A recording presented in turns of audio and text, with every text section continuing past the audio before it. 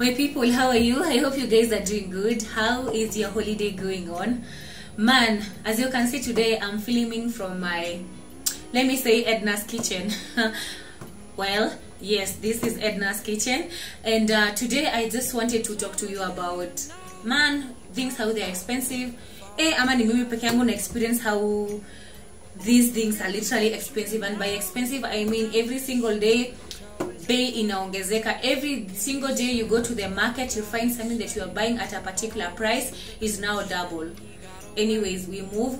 Or please as i'm going to tell you about the prices of how much i buy i bought some of these fruits and then you tell me manze if your local market is way cheaper than mine because i feel like ama it's me who is broke. Okay anyway after that i also want to see if i can cook with you guys so yeah so yeah let me start in any order. I bought mangoes at my local market. And these mangoes were going at uh, 30 shillings each. I know it's almost the mango season is here so the prices have at least gone down for mangoes. So yeah that's not bad i would say. I also bought apples. Three of them i don't know if you can see man and they were going three of them for a hundred shilling. Let me know manze kama nimegongwa or that is how you're also buying at your local place. I also bought two capsicum the yellow one and the green one. The yellow one is quite pricey. This one was going for 50 shillings man 50 shillings and this one was going for 10 shillings. So yeah.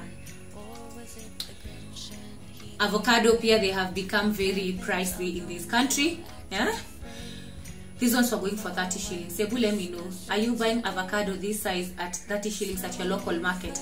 Ama it's mine that is exaggerating things. Eh, ebu let me, ebu eh, let me know guys where so i bought only two. I've actually had missed avocados. It's been a while since i came across one. So sweet potatoes these ones were going for 50 shillings. That's fair i would say where another goal that we are currently experiencing in this country seeds potatoes. These ones were a hundred shillings. Ebu guys tell me whether this is worth a hundred shillings. Ebu let me know. Anyways my watermelon yenye imefinywa this was a hundred shillings. I'm assuming that's fair another thing that's very pricey it's this pawpaws man as you can see it's actually written the price. It's 150 shillings. This size this size. So i don't know kama hapo nimechezwa ama ikoaje ebu niambie. I kind of feel like it's like everything honestly is quite pricey. I don't know if it's because of the christmas season or it's me who have not been in the market recently. Ebu mnisho mnisho hizi vitu bananas i love bananas. And again i've realized they are not quite as many as they used to be in the market. So these ones were going for 10 shillings. I bought for around for 180 shillings. I truly truly love bananas. Truly love bananas so much. Mimi i'm not going to embarrass myself here. Mimi sijui how this matunda is called but i bought each was going for 10 shillings. I bought for 100 shillings. For these ones uh this is uh this is a pineapple. What am i saying? This is a pineapple and i love buying just like a small piece to eat for a day. I don't like like buying a whole full of it. I just like love going when i'm going to the market because or i'm passing there i just pick one and eat and that's it because i love them fresh. I also did buy onions. These are onions. Moja ilikuwa inatoka 10 shillings so i bought for a hundred shillings and i think that will take me a while because at the end of the day this house is only i rarely cook. By the way alafu i want to do um, mokimo with kienyeji chicken and i'm going to cook that with you people. I'm going to literally cook with you guys. So i just bought three bananas um, the raw ones. So these ones were going for 20 shillings for three. So i want to cook that alafu i did buy kienyeji chicken at my local place also. This is a full kienyeji chicken that's already that's already uh, slaughtered and it's ready. I'll just put it in the cooker and start cooking. What else did i buy in that market? Nothing really. So i also did buy pumpkin leaves that we are going to use on our mokimo and the last things i bought were dhanias that i'm also going to use. So guys uh, that's it. Able let me know. Is my local market expensive? Ama ni mimi broke? Just let me know in the comment section. These are all the fruits i could manage to buy. But um, i'm grateful. I hope this holiday season you're continuing well unasherekea vizuri and you're having fun and i wish you guys a happy happy time. So let's go cook I'm going to start by making tea. I honestly love tea so much. So, and I make my tea the traditional Kenyan way, whereby you put everything in the sufuria, including tea leaves and sugar. Yes, just like that. And then I have my two favorite tea spices that I love using, and that is cardamom and cumin sticks. I hope you enjoy this video. The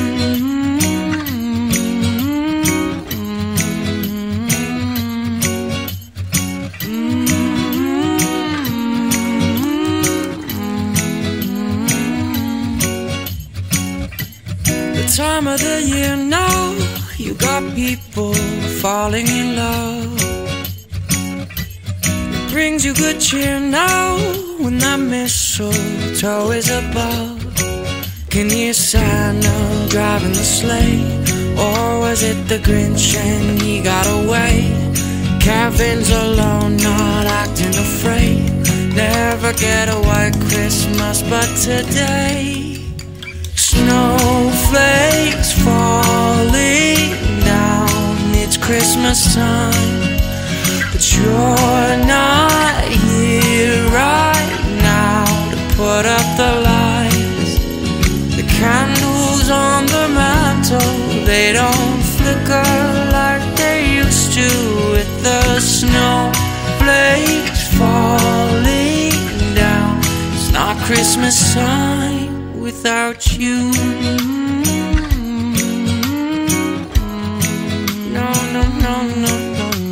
Didn't want this video to be long, so I went ahead and prepare all the ingredients that we are going to use to make our mokimo slash uh, kienyeji chicken. So I did chopped red onions. I've also blended tomatoes together with ginger and garlic. I've also uh, chopped my parsleys to, uh, potatoes together with ban- raw bananas. On the farthest end, I've also created yellow capsicums, green one, and also zucchini. These are the ingredients that I'm going to use to prepare my dinner, and I will show you the rest of the spices that I'm going to use as I continue. But um, I rarely use spices, and if I use, they are usually very minimal. Was it the Grinch and he got away? Kevin's alone, not acting afraid. Never get a white Christmas, but today. Snowflakes falling down, it's Christmas time.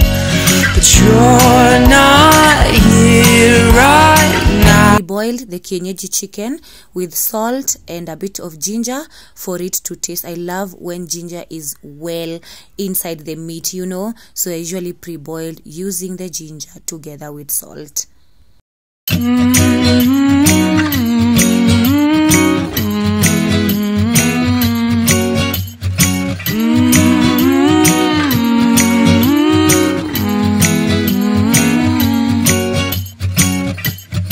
time of the year now, you got people falling in love. It brings you good cheer now when that mistletoe is above. Can you Santa driving the sleigh? Or was it the Grinch and he got away? After removing the excess oil from the chicken, I usually allow it to cook with oil until it has that brown brown golden color.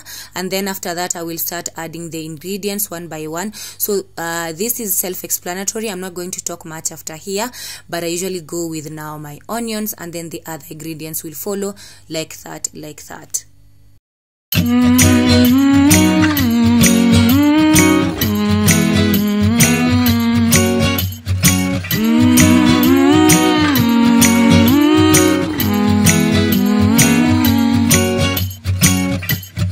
time of the year now. You got people falling in love. It brings you good cheer now when that mistletoe is above. Can you sign Santa driving the sleigh? Or was it the Grinch and he got away? Kevin's alone, not acting afraid. Never get a white Christmas, but today, snowflakes falling down.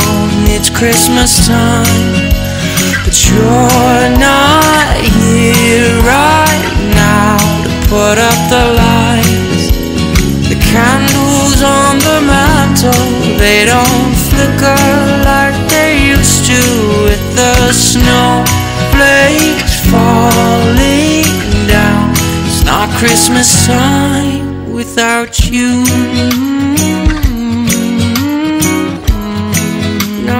No, no, no, no.